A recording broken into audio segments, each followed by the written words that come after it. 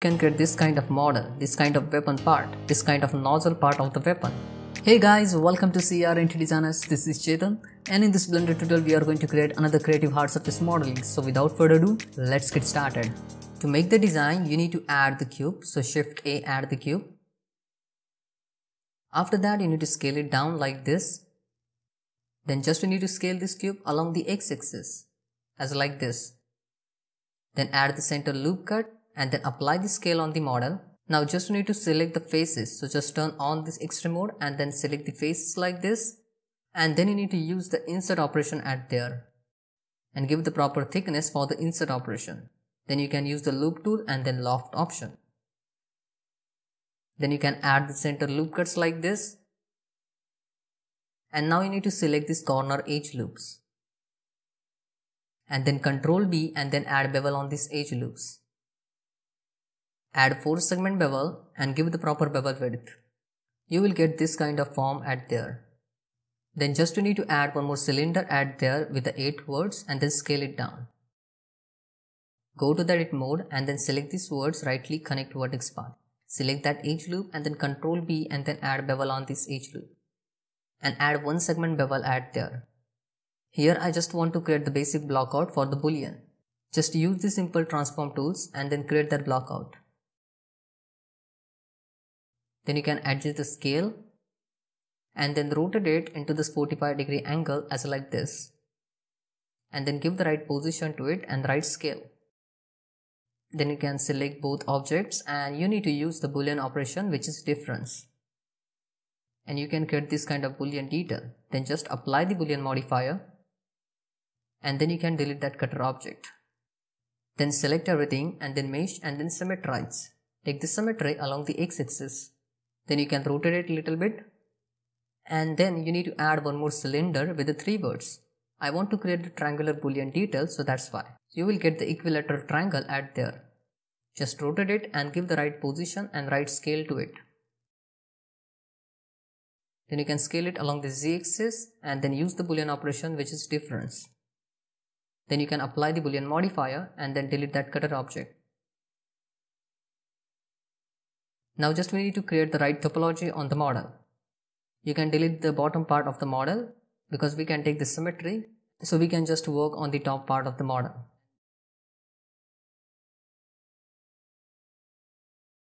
Then you can select these edges and then control X to dissolve them. These are unwanted edges at there so just dissolve these unwanted edges. Then select everything and then press M and merge by distance so double verts will get merged. So you can select the verts as like this and then right click connect vertex path. And just try to create that loop structure that face loop structure. According to that you need to create the path in between the verts. Then just you need to use the knife tool and you need to create the cuts like this along the y-axis. Just create the same kind of loop structure at the bottom side also. You can see I'm getting that loop structure at here just here I need to use the knife tool and then create the cuts like this. These are the supportive cuts and supportive edges to maintain the form of the model. Now same kind of cuts you need to create at the bottom side also. You can use knife tool and you can create the cuts like this. Just try to create the good topology on the model. And you can see that looks really well. Then select everything and then mesh symmetrize, take the symmetry along the x-axis.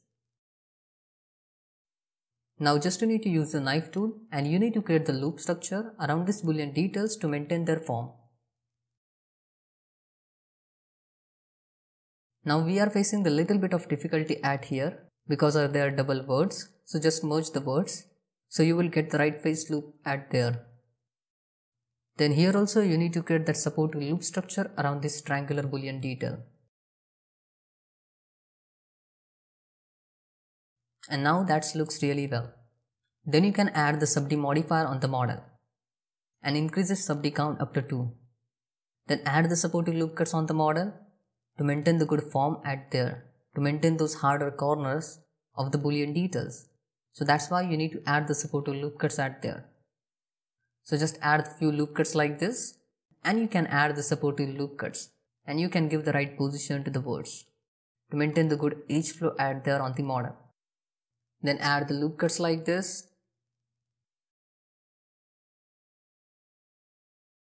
Now you can see I'm getting those decent boolean details at there which looks really well.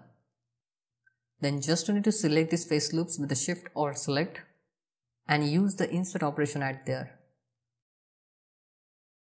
Then you can select these edge loops and you can scale them along the x-axis and make it flat along the x-axis. And then take the symmetry along the x-axis and now turn on your X-ray mode, select these faces and then delete these faces.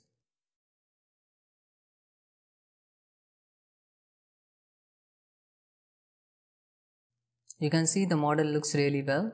Now we will add the array modifier and you can see I'm getting this kind of pattern at there. I want this pattern so that's why I have added that array modifier.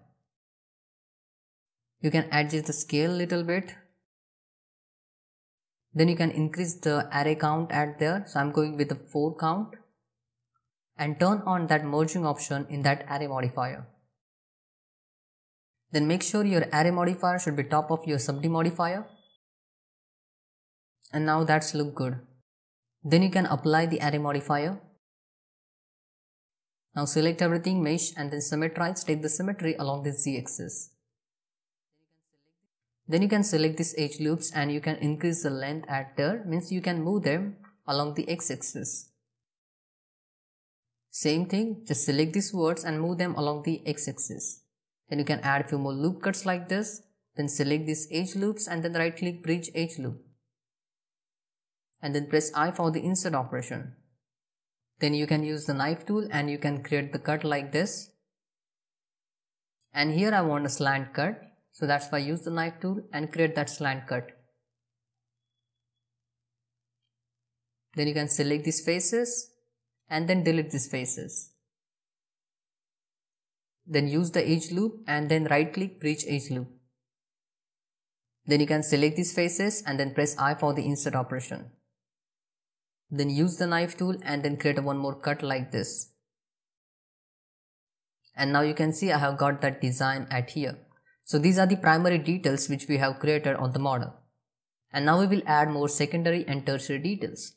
Easily we can do this, just need to observe the process and easily you can create those details. I'm using the base topology add there to create those details on the model. And that's not difficult.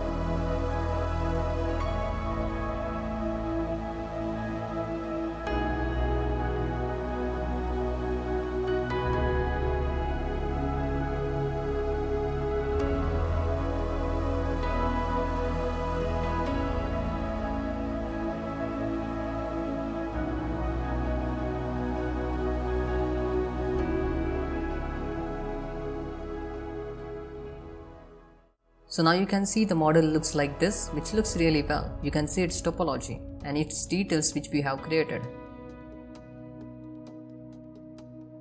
In this way you can create this kind of model, this kind of weapon part, this kind of nozzle part of the weapon. If you want more this kind of tutorial then please hit that like button and subscribe our YouTube channel. Bye bye, so next video take care.